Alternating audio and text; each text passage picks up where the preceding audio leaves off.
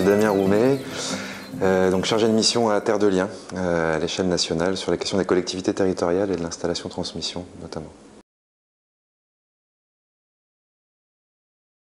Euh, ça peut m'évoquer plein plein de choses.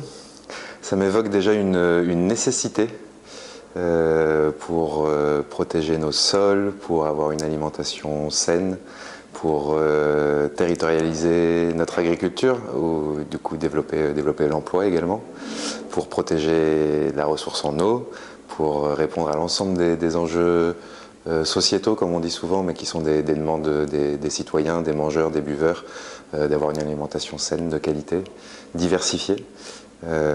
et donc qui permettent de, répondre à tous ces enjeux-là. Donc une nécessité, un gros défi, parce qu'on est quand même sur un système euh, agricole qui ne correspond pas forcément à tous ces, enjeux-là et à tous ces défis-là. Donc c'est un vrai défi pour euh, euh, mobiliser tous les acteurs sur, la, transition de, ces systèmes agricoles, que ce soit les décideurs à l'échelle territoriale, les collectivités, à l'échelle nationale, également à l'échelle européenne.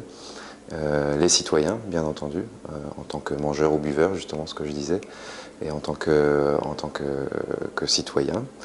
Euh, et puis, bien entendu, les, paysans, les agriculteurs sur les territoires, à la fois les cédants, les futurs cédants, ceux qui sont en place, et puis toutes les nouvelles personnes qui souhaitent, euh, prendre le relais et prendre la relève, euh, et qui, eux, ont plein d'idées pour justement faciliter la transition de ces systèmes agricoles.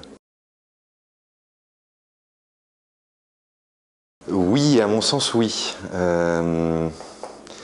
Alors je ne sais plus exactement, mais je, crois que c'était une citation de Voltaire, la terre est à personne, les fruits sont à tout le monde, quelque chose de ce genre.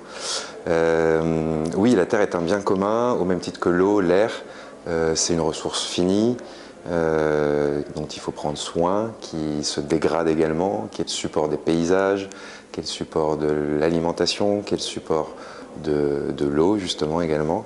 Euh, donc à ce titre-là, la terre agricole, c'est euh, un bien commun qui doit, euh, mobiliser l'ensemble des acteurs qui, ont qui ont à y toucher, les agriculteurs en premier lieu, et également les citoyens, les collectivités, les entreprises également du territoire.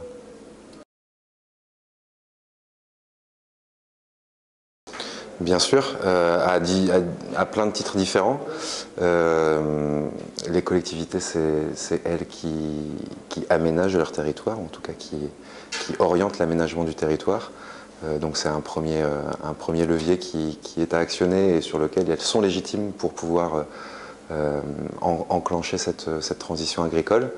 en tant que également débouchés potentiels pour tout ce qui est restauration collective, restauration hors domicile. En tant que euh, porteur des politiques de développement économique, euh, l'agriculture c'est de l'emploi, c'est du développement économique.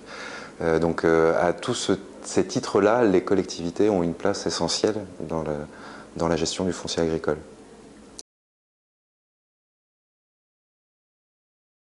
De Liens propose différentes, modalités d'accompagnement ou en tout cas de différents euh, euh, processus pour, euh, pour accompagner les, collectivités territoriales.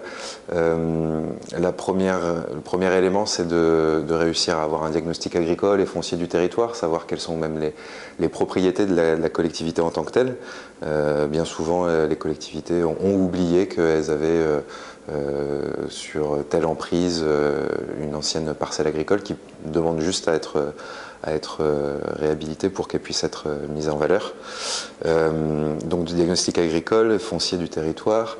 nous, on accompagne les collectivités là-dedans et puis on les accompagne du coup à la définition aussi d'une stratégie foncière, d'une stratégie agricole avec tous les autres acteurs qui sont impliqués dans, cette, dans ces dynamiques-là sur le, sur le long terme et du coup à activer au bon moment, aux bons endroits, les différents dispositifs et les différentes cartes qu'elles peuvent jouer, que ce soit des dispositifs légaux sur des zones agricoles protégées par exemple, pour sanctuariser une terre agricole ou un périmètre de protection euh, dans, les zones périurbaines, des droits de préemption, de l'acquisition, etc. Donc Terre de Liens, c'est vraiment une option pour accompagner les collectivités à mettre tous les acteurs autour de la table, à définir une stratégie euh, alimentaire, agricole et donc de foncier euh, sur, euh, sur le moyen terme. Et puis ensuite, c'est la petite cerise sur le gâteau. Terre de Liens peut aussi être le moyen d'acquérir du foncier conjointement entre citoyens du territoire et collectivités ou autres acteurs publics. C'est une des particularités du mouvement et, via la mobilisation de la fondation Terre de Liens, qui est reconnue d'utilité publique, il y a la possibilité de faire des, financements croisés euh, des financements communs pour un bien commun euh, et qu'on oriente ce, foncier agricole sur du très très long terme euh, et qu'on l'oriente du coup vers des usages durables du sol qui, permettent également de mettre en place une agriculture pour le territoire et par le territoire.